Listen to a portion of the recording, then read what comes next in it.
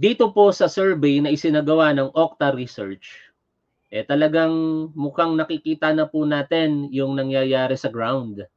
Kasi kung titingnan po talaga natin, marami na pong ayaw sa mga Duterte at dumadami rin naman po ang sumusuporta sa kasalukuyang gobyerno sa pamumuno ni Pangulong Bongbong Marcos. Yung mga DDS o DD sheets, sila na lang yung naniniwala na marami pa po sila eh. Kasi niloloko nga nila yung mga manonood nila, nagsasagawa sila ng mga kalye-kalye survey tapos pinalalabas nila sa mga kalye survey niya na ang dami-dami daw pong sumusuporta pa rin sa mga Duterte. Pero wala pong katotohanan niyon.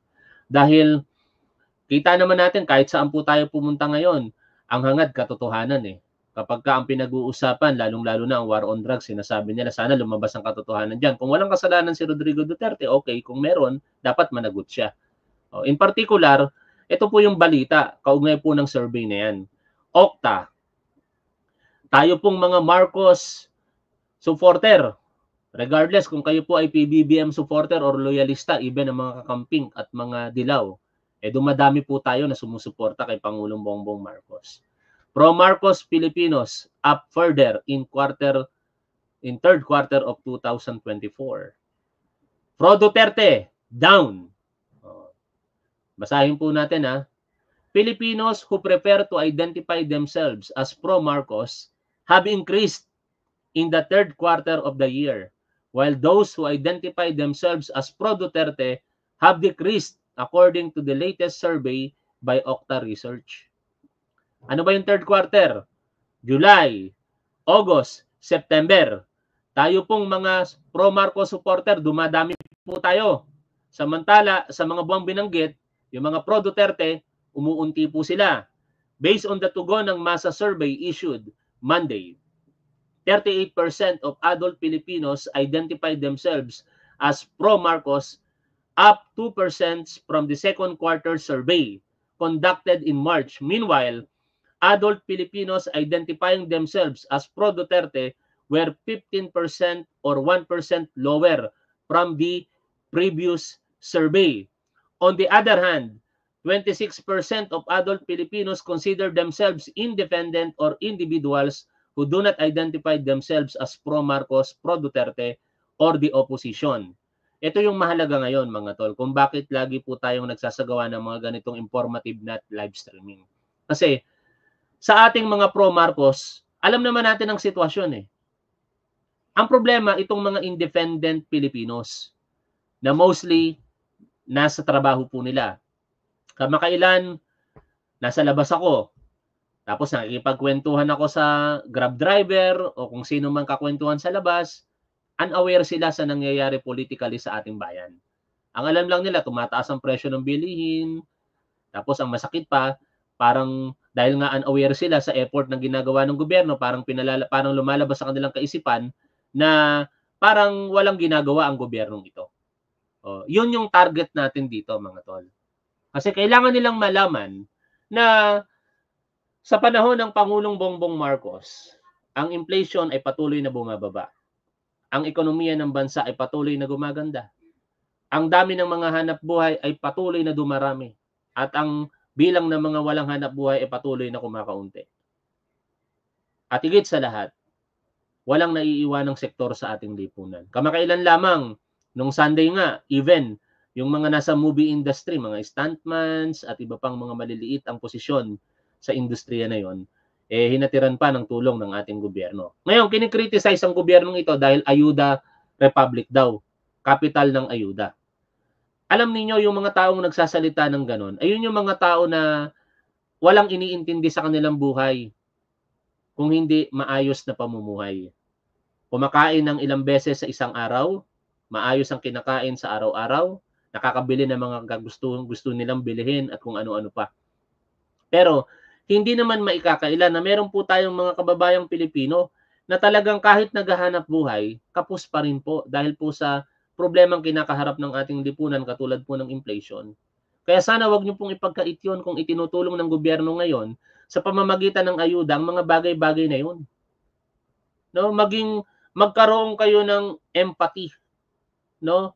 Yung maramdaman ninyo, yung nararamdaman ng ating mga kababayang Pilipino sa mga pagsubok sa kanilang pang-araw-araw na buhay. Ako nga, hindi ako politiko kahit paano, pagka may kaunti akong pera, nagrarapol-rapol na lang tayo para somehow makatulong tayo sa ilan po nating mga manunood. At nakakatuwa sapagkat yung dalawang daang piso, eh, may mga nagme-message sa atin, ipinapakita yung nabili nila sa halagang dalawang daang piso. 'Di ba? Hindi 'yon hindi 'yon pagtuturo sa mga kababayan po nating Pilipino na maging tamad. Ang ginagawa po ng gobyernong ito ay tinutulungan sila dahil immediate ang kanilang pangangailangan. Pero yung pagtuturo ng tamad, wala pong katotohanan yon. Dahil sa katotohanan, kasama po sa mga serbisyo fair na yan, ang pag, uh, pagpapakalat ng mga impormasyon kaugnay po ng hanap buhay, mga employment opportunities na maaaring makita nila sa mga serbisyo karaban na yan ng ating gobyerno. Yun po ang layunin nun eh. Ano, lahat ng sektor walang iniiwanan. Oh, sana malaman po iyan ng lahat ng mga Pilipino. Tuloy ko po yung binabasa natin dito. Analyzing the data for the last three quarters of 2024 suggested a continuing upward trend since the first quarter to those who prepare ident to identify themselves as supportive of President Ferdinand Marcos Jr. and a continuing downward trend to those supportive of former President Rodrigo Duterte. Sa balita na ito, makikita natin na talagang sa pagtagal ng pamumuno ng ating Pangulo, mas dumadami pa ang sumusuporta rito. At dahil po nahahayag na sa publiko ang mga katarantaduhan sa nakalipas na administrasyon, unti-unti pong nababawasan ang suporta ng publiko para sa mga Duterte. At kailangan po natin ipagpatuloy ito kasi talagang kumikilos sila. Gagamitin nila ang kanilang social media influencers para i-develop sa isipan ng mga tao na mabuti ang mga Duterte, Duterte. Pero in fact, taliwas po ito sa nakikita natin eh. Kasi una nga, yung natalakay na natin kanina, ang war on drugs. Tapos dito in particular, sa ating pag-uusapang balita, eh ito pong si Francisco Duque. Kung babalikan lamang po natin ang balita, sila po'y sinampahan ng kaso sa ombudsman kasama ng iba pang mga uh, tauhan nitong si Rodrigo Duterte during Duterte administration. In particular, ito, Ombudsman pushes grab case versus Duque. Law over irregular transfer of 41 billion pesos for COVID-19 supplies. And that was May 10, 2024. And ito po noong August 29, Duque Law pays grab wraps related to irregular 41 billion transfer. Ngayon, ano ba ang pag-uusapan natin dito sa balita na ito? Ito po ay particular lamang sa kasong administratibo. Kaya wag po tayong magagalit dito mga tol. Na porkit binasura po ng ombudsman, eh parang kinakampihan nila itong si Francisco Duque dahil tao po ni Duterte. At ang nakaupong ombudsman ay ang inappoint ni Rodrigo Duterte na si Ombudsman Martires. Actually, hindi nga po dapat maging point of arguments ito eh. Kasi this is the right thing to do. Ang pinakabuod kasi rito, hindi na po empleyado ng gobyerno itong si Francisco Duque. At hindi na po siya pwedeng tanggalin pa sa gobyerno. Kaya kung meron man siyang kinakaharap na kaso na ang kaparusahan ay pagkakatanggal sa gobyerno, parang moot and academic na po iyon. Tanggal na siya eh, wala na siya sa serbisyo eh. Oh, basahin po natin ha. Ombudsman, Janks Admin Raps versus Duque over COVID-19 fund transfer. Admin lang po ito. Yung kasong kriminal magpapatuloy po.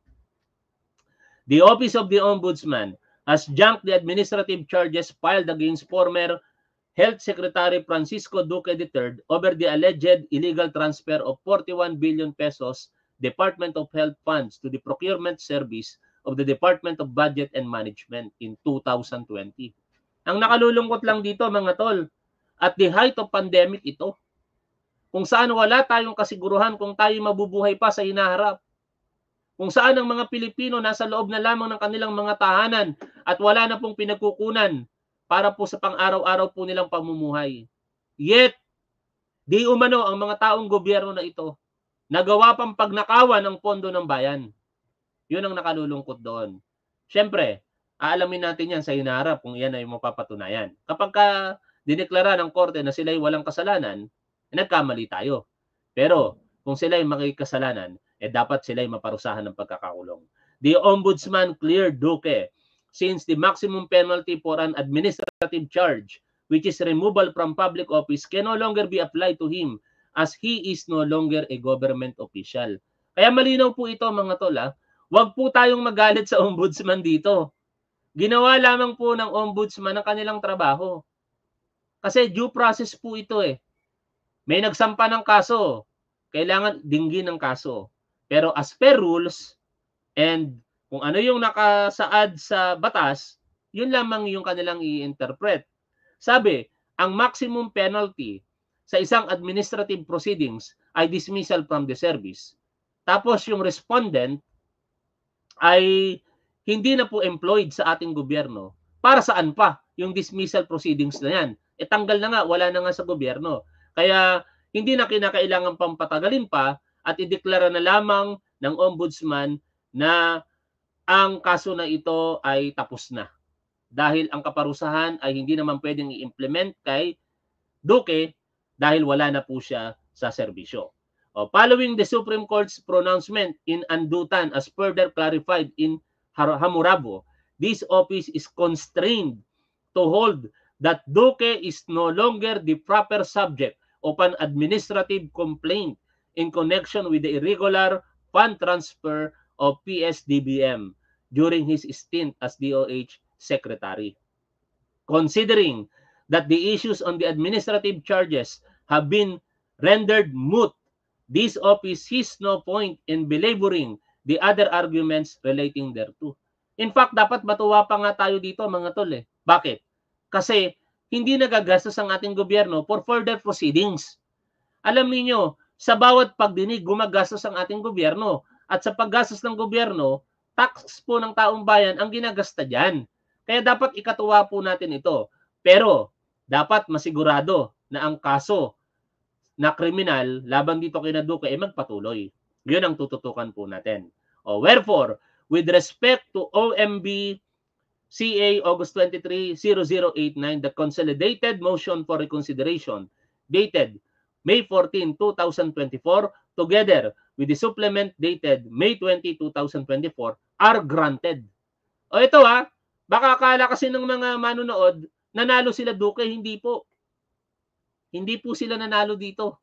Ha? Dahil moot and academic na po itong kaso. Wala pong panalo rito. Ha? Ang panalo dito kung meron man tayo, taong bayan, kasi wala nang gagastusin pa ang ating gobyerno sa isang hindi na dapat dinidinig pang kaso. The administrative charges for grave misconduct, gross neglect of duty, conduct prejudicial to the best interest, ay tumutunog, sandali. Saan ba tumutunog? Yan. Yan. The administrative charges for grave misconduct, gross neglect of duty, conduct prejudicial to the best interest of the service, docketed against respondent Francisco Duque III are hereby dismissed. Ito na ngayon yung magandang balita. Ha? Kaya wag tayong magalit. Duque, however, is still facing graft charges in connection with the budget transfer.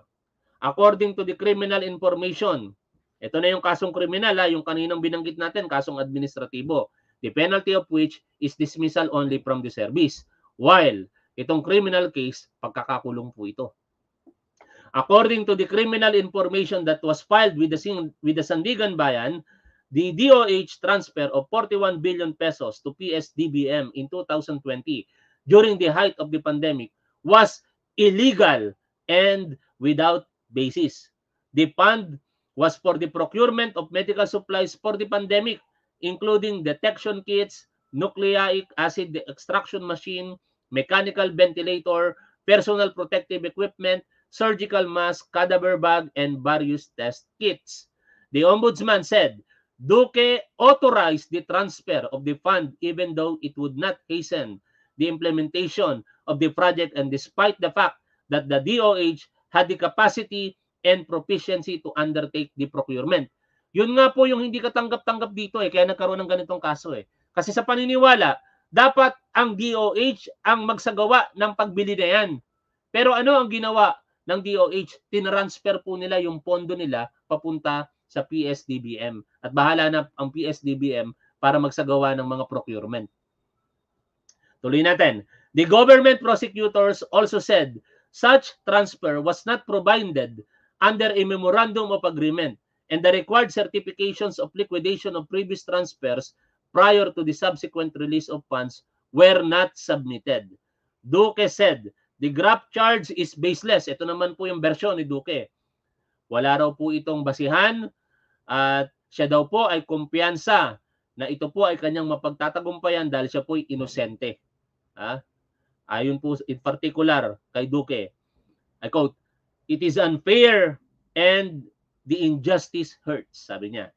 But I have full trust and confidence that I will be able to prove my innocence before the Sandigan Bayan. A court of law that will clearly see the transfer of the funds by the DOH to PSDBM at the time of national public health emergency when COVID supplies such as PPEs were scarce, was lawful, and proper. Oh. Now, sino kaya ang mananaig dito? Hindi natin alam. Tayo po yung mag-aantay lamang dito. Pero siyempre, hindi mawawala sa ating kalooban ng sumama ang loob sapagkat kitang-kita naman natin noong mga panahong iyon ang kawalan ng pag-asa sa lahat ng mga Pilipino. Tapos mababalitaan po natin na may mga ganitong sistema. Hindi kasi ito ordinaryong pag-transfer lamang. Kaya po na-transfer kasi para may paboran ng mga kumpanya at yung mga kumpanya na yon kumita at ang kita magkaroon ng bahagi ang mga tiwaling opisyal na nadadamay dito. Sa huli, sana lumabas ang katotohanan dito. Maparusahan ang dapat maparusahan. At sana, lahat ng mga taong involved dito, makasuhan. Kasi ako, hindi ako naniniwala na ito'y magpo-proceed as uh, as gusto lamang nitong si Francisco Duque. Malakas ang paniniwala ko dito na kaya ito nagpatuloy eh dahil may guidance ito. Merong itong go signal mula sa pamumuno ng Duterte administration. 'Di ba? Kasi lang ang mahirap, walang direktang ebidensya na nagsasabi na may partisipasyon, partisipasyon dito si Rodrigo Duterte. Kaya ang nakasuhan lamang dito ay si Francisco Duque. Yet, at iba pa, ha? Yet, itong si Francisco Duque at iba pa, kung wala silang kasalanan, sana mapanalo nila yan. Pero kung meron naman talaga silang kasalanan, hindi nyo maiiwasan ang nag-aantay na kaparusahan sa inyo. At dapat makulong lamang ang mga nagsamantala sa lahat ng mga Pilipino sa panahon na tayo'y hopeless. Alam niyo, hopeless tayo noon. Ha? Ang inaasahan lang natin noon, ang manalangin. Di ba? Wala tayong kasiguruhan sa inaharap eh. Hindi natin alam kung ano yung uri ng sakit. Araw-araw mananalangin ka na lang na sana maayos pa ang bukas.